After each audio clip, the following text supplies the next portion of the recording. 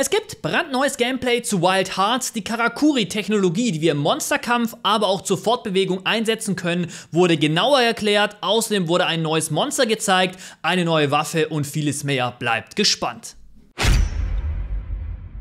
Servus Monsterjäger, heute bin ich für euch mit dem nächsten Wild Hearts Video zurück und das hat's wirklich in sich, denn es ist ein brandneuer Trailer erschienen, aber auch ein neuer Blogpost, der die alte Technologie genauer beschreibt. Und das ist wirklich krass, was die alles drauf hat, das lässt einen staunen. Bevor wir alles im Detail anschauen, gibt's hier einmal kurz die Erinnerung zum Gewinnspiel von meinem Partner Instant Gaming, ich denke die meisten kennen schon, weil ich dort Partner bin, könnt ihr immer am Gewinnspiel kostenlos teilnehmen, Link dazu ist unten in der Videobeschreibung, ihr könnt euch einen Wunschartikel nach Wahl aussuchen, gucken. Gerne einfach mal durchschauen oder was anderes eingeben. Oben sind zum Beispiel die neuen Pokémon-Teile mit dabei, die man schon gewinnen kann.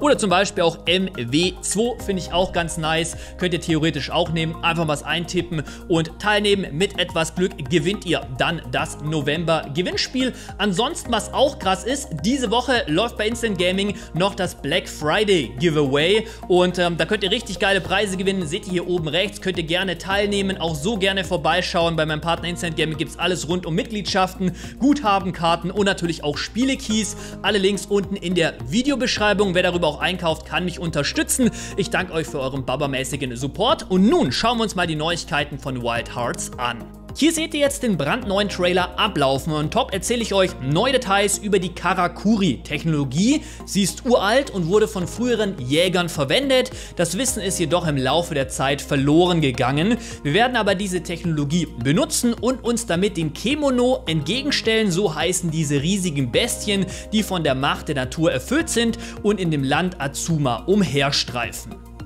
Was man unbedingt wissen muss, damit man alles versteht, die Karakuri werden in drei Hauptkategorien unterteilt, das wusste man vorab noch nicht. Die Basis-Karakuri lassen sich einfach und schnell konstruieren und eignen sich super gut für den Kampf. Außerdem erfordert ihre Herstellung nur wenig Ressourcen. Die Karakuri-Kiste, Sprungfeder und Fackel, die man im Trailer sehen kann, zählen zu dieser Kategorie.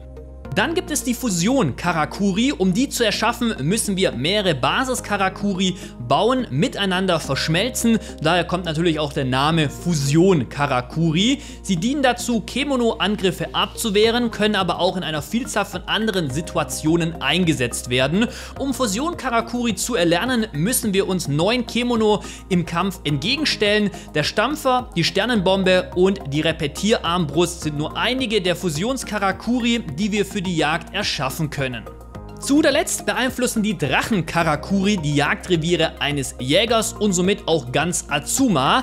Drachen-Karakuri benötigen nämlich für ihren Einsatz viel Energie, die sie aus dem umliegenden Land beziehen. Die Quelle dieser Energie wird Himmelsfäden genannt. Die in einem Gebiet verfügbaren Himmelsfäden können zunehmen, wenn wir als Jäger die Drachenschlunde in diesem Gebiet eben entdecken und dadurch wird das Ganze verstärkt. Die Flugleine, das Walzrad und auch der Jagdturm werden unter anderem Drachenkarakuri genannt.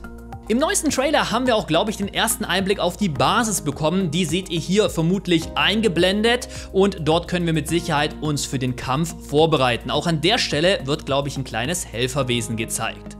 On top wurde im Trailer ein neues Kimono gezeigt, ein neues Monster, ein Stacheltier mit Kristallen auf dem Rücken. Finde ich von der Optik erstmal nicht so spektakulär. Der Fight sieht aber sehr vielversprechend und actionreich aus. Auch hier wieder hat das Monster oder das Kimono verschiedene Phasen. Einmal eben ohne die Kristalle auf dem Rücken, mit Kristalle und es gibt scheinbar auch eine Art Wut-Modus, wo es dann noch rot leuchtet und es macht heftige Flächenangriffe, scheinbar mit Schockschaden.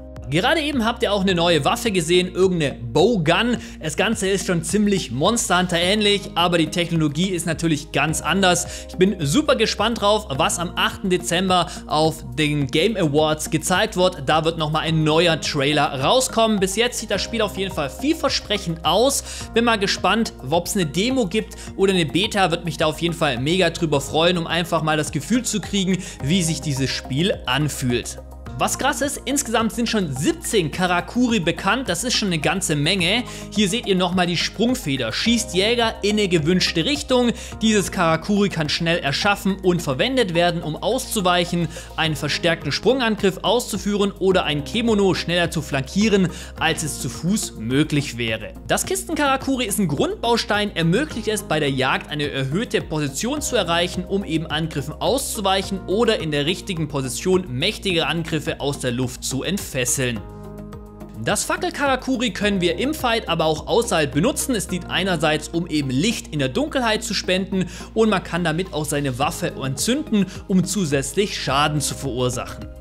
Der Gleiter ist ebenfalls ein Basis-Karakuri und kann in Verbindung mit Luftwirbeln oder mehreren Kisten-Karakuri verwendet werden und ermöglicht es eben den Jäger über längere Zeit in der Luft zu bleiben, um Azuma leichter zu durchqueren oder eben direkt sich über einem Kemono zu positionieren. Das Himmelsanker Karakuri können wir verwenden, um uns an ihm hin und her zu schwingen, um den Abstand zu einem Kemono rapide zu verringern. Himmelsanker können aber auch bei einigen Situationen außerhalb des Fightes eingesetzt werden. Die Fusionskarakuri funktionieren ein bisschen anders. Die sind natürlich für den Kampf gegen die Kemono und zum Beispiel gibt es das Bollwerk, hat man schon öfters gesehen. Und zwar ist es eine fette Mauer, die aufgeladene Angriffe eben kontern kann. Das Monster wird dann weggefetzt oder allgemein auch Angriffe blockiert. Das Stampfer Karakuri finde ich richtig geil und zwar ist es dieser Hammer. Der macht einen extrem langsamen Angriff, aber gibt dem Ziel erheblichen Betäubungsschaden und ich vermute, dass diese Ratte da wirklich umfällt und für eine gewisse Zeit lang liegen bleibt. Die Sternbombe hat man schon oft gesehen, verfügt über eine hohe Angriffskraft und eine große Angriffsreichweite. Es dauert ein bisschen, bis sie von selbst explodiert, tickt eben runter.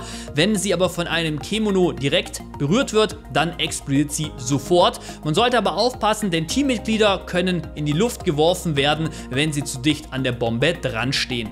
Die Repetierarmbrust ist auch ein richtig geiles Ding, schießt in regelmäßigen Intervallen auf das Kemono, um eben unseren Schaden zu erhöhen, aber es kann eben auch das Kemono ablenken und so haben wir es leichter anzugreifen. Die Kettenfalle erinnert mich stark wieder an Monster Hunter und setzt eben das Kemono fest und wir können für kurze Zeit eben wahrscheinlich sehr guten Schaden daran machen. Je öfter wir die Kettenfalle einsetzen, umso schneller findet eben das Kemono raus, wie es sich befreien kann.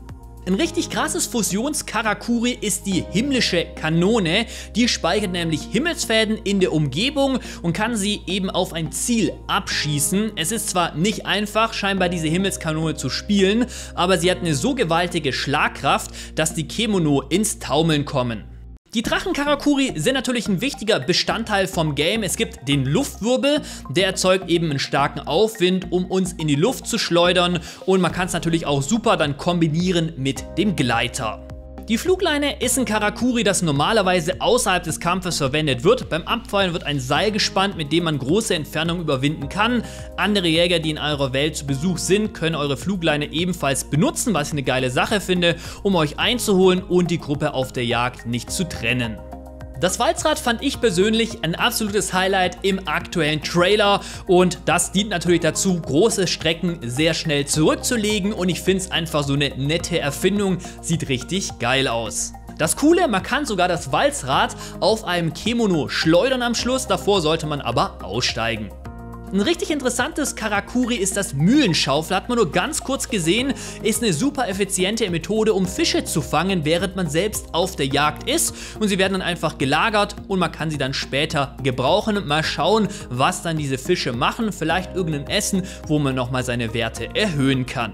Dann gibt es ein Trainingskarakuri, das ist ein Bär und dort können wir eben super unsere Angriffe testen und unsere Fähigkeiten verbessern. Finde ich mega, dass sowas im Spiel mit drinnen ist. Das Jagdturm Karakuri ist auch super interessant, denn es spürt große Kemono auf, die sich in der Nähe befinden. Desto mehr wir über dieses Karakuri eben wissen, desto mehr Artefakte, besondere Kreaturen wird dieser Jagdturm aufspüren.